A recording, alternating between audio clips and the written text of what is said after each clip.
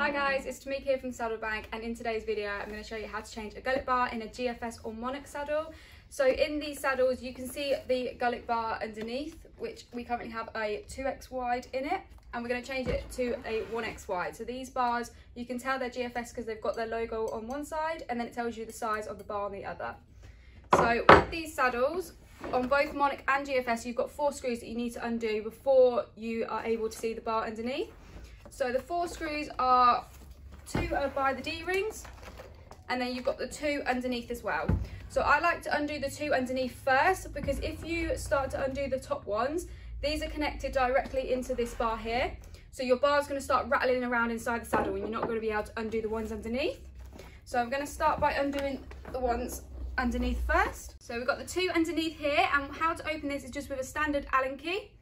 So we're going to open these ones first.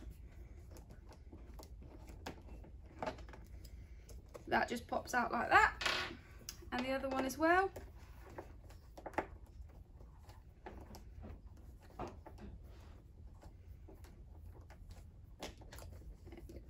So now we can take the panels out of the point pocket of the saddle. So we just do this by lifting up the panels like that and pulling it out and up like that. So you can see now it reveals the bar that's underneath. So you can see the, the screws that are underneath here are the ones that are by the D-rings. So we're going to undo them ones now. And a tip for this as well, sometimes the screws of this can be a little bit stiff. So what I sometimes have to do is rethread the screw. So we pop it in the wrong way first and then we can take it out and put it in the right way. That just rethreads it and then lets it, us do it a little bit easier. So now I'm going to do the same by the D-ring and just take that screw out.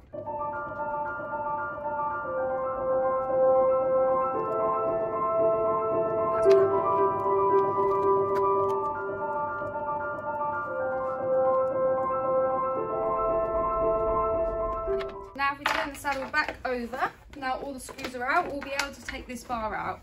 So you also want to make sure, you can pull the panels a little bit out of the way like that. So you can also make sure here that the writing is facing you, so that's the way you want to put the new bar in as well. So this literally, if you pull your tree at the top here, should just pop out. There we go. And you can see here you've got two little holes where this on the bar needs to go into as well. So I make sure the writing's facing me. And then pop one inside in first and you can actually just push down the middle and it should pop straight into place.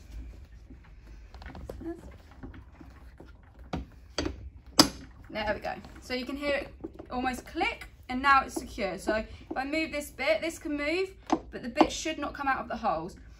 So now I'm going to put the screws in by the D-ring now that's back in. So I'm going to move the panels back over so I can flip the saddle over and pop the screw in.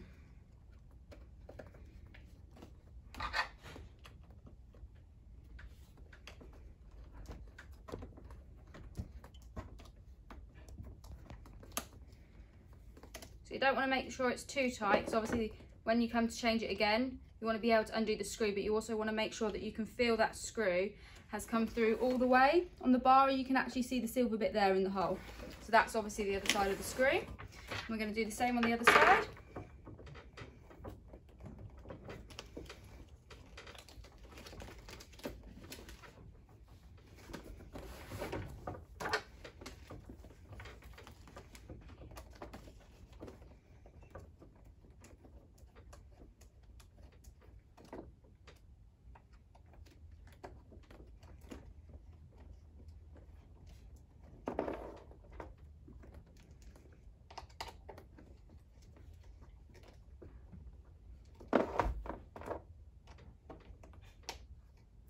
So that's nice and tight and also I can feel and see the screw that's come through the other side.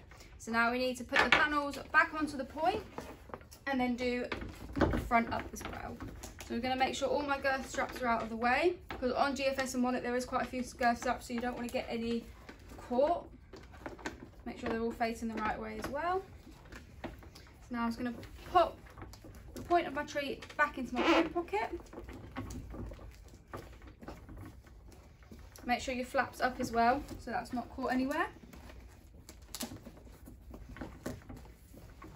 that should now line up with your holes that you have here to put your screws back in. So I'm going to pop that one now